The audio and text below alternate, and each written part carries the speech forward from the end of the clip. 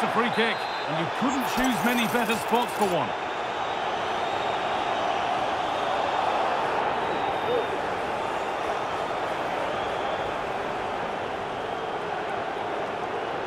It's in!